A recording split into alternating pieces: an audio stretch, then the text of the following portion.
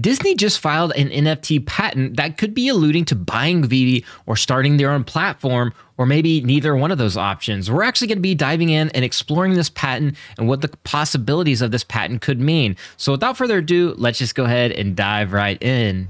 All right, so we got this tweet pulled up here, and we're going to read through it in just a moment and kind of my thoughts on this. But before we do, let's go ahead and just do the patent lookup real fast that I have pulled up. We're going to read through it, and we have some shocking information. All right, so it's your host here, Kyle Willson. Welcome to the channel. If you're new, we talk about NFTs, ordinals, digital collectibles, and Web3 gaming. So welcome to the channel. I'll get back to all my other content soon enough, but this one was pretty hot news, and we had to cover it. All right, so let's dive into it. It says here under the the description, um, we'll actually skip that. It just shows you the title of this is enabling deep historical data to use via NFT reminting, which is pretty interesting in itself. The background. Now, this is where it gets really spicy really quickly, and you'll see why in just a moment. It says existing non-fungible token NFT blockchains hold ownership history with within a blockchain transactional database, which records each transaction as it occurs that has no way of providing comprehensive ownership history for an NFT in response to a single query. As a result,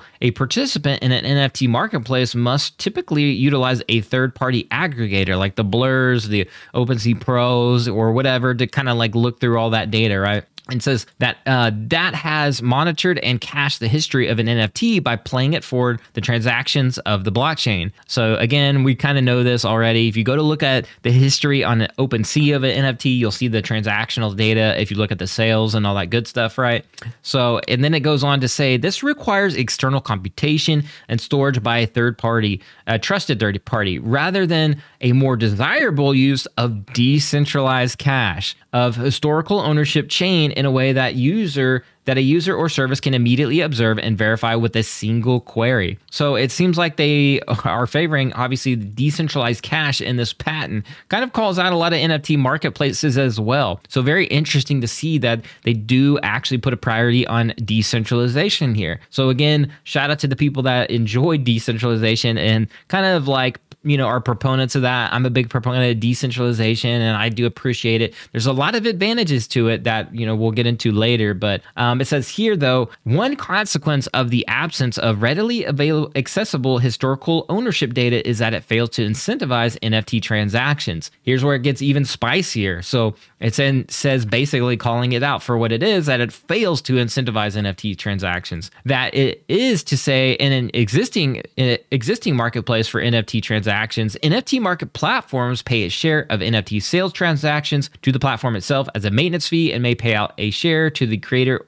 as a royalty fee. That's kind of like the big deal in the NFT space as a whole. So all platforms are basically like that in a nutshell. You know, VeVe, OpenSea, they all kind of do that. And it says here the seller of the NFT receives the remainder of sales funds and loses ownership of the NFT. The NFT is then removed from the digital wallet belonging to the seller who receives no ongoing value for being an early adopter of the NFT. That is a big issue. That's a crux of the NFT space is like nobody's out here doing that. Nobody's like rewarding their early adopters you know, if you had an NFT, you sold it, maybe you had to, or maybe you just wanted to collect something else. It doesn't really reward early adopters. So kind of calls the NFT space out as a whole here in this patent. And then it says the state of affairs tends to encourage NFT owners to act as collectors and to display their own NFTs in a gallery in order to showcase their collection, but provides no incentive other than receipt of sale price for transferring ownership of an NFT to another collector. So again, another call out here to the space why,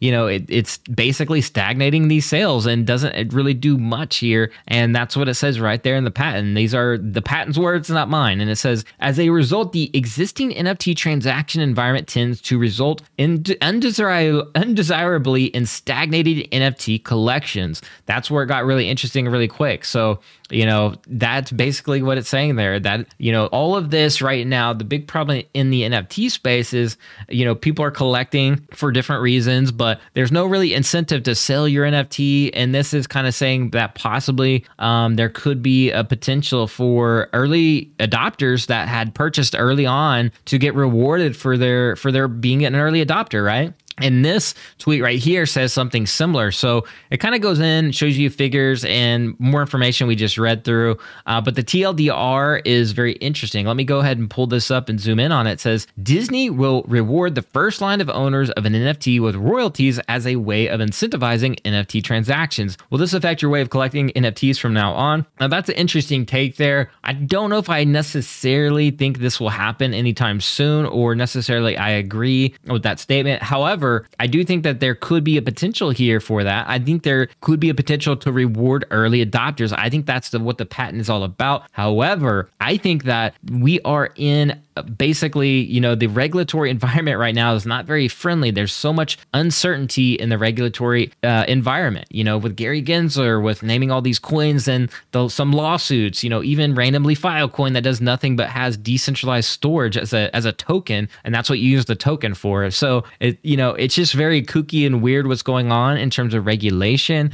And there's just a lot going on, even, you know, with what's going on. I think with Flow, they have some similar type of case that you know that they're having to work through, or not similar, but in, in an NFT case that they're having to work through. But anyways, there is so much to be had in terms of you know some uncertainty and legal clarity that I think needs to take place. This could be years before this patent actually gets used, if you know what I mean. So again, like if you are rewarding your users with royalty fees or paying your user just for being an early adopter, it's kind of like a common enterprise and an expectation of gain. So I don't know if if Disney's just going to be like open the floodgates of, hey, we're just going to have all these royalties. However, if they have their own environment or their own game, rather, like their own experience and some kind of in game currency that is not tied to you know any kind of real currency it's just a gaming token um, that has nothing to do with crypto i could see maybe that or some rewards like you get kind of merch. We are seeing that with cryptoys cryptoys has a really cool program. You know if you land at ultra uh, ultra grail you get into the ultra grail club and you kind of get cool little perks like that. I think that is the move and this is interesting though. This kind of called out a lot of things going on in the nft space and kind of similarities you can draw with other collectible platforms. Um, obviously it mentioned showroom and things like that. So i find this very interesting. Let me know what you guys thoughts are in the comments below. Uh, kind of of a spicy patent here and to see what happens. Now, this was filed back last year in October and finally got published uh, this past month, and the status is pending currently. So, time will tell if this actually gets approved and if Disney might not even use something like this possibly for a while. But it is all very interesting, and I'm curious what y'all think about this. Is this meaning that Disney may actually buy VeVe? Is this what it's kind of alluding to? Like, are they setting themselves up in the event that they want to go ahead and buy VeVe and, and incentivize collectors to sell their NFTs? Or are they going to create their own platform and utilize a tool and a patent like this to have their own proprietary system in place for incentivizing people to buy, sell, and trade in their own marketplace? Or could this be just something that they are just filing a patent simply because it's Disney? I'm very curious what you guys think. So let me know in the comments below and I'll read through those. But without further ado, that's all I got for this one. Be like an NFT, be authentic, and I'll catch you guys later. Peace.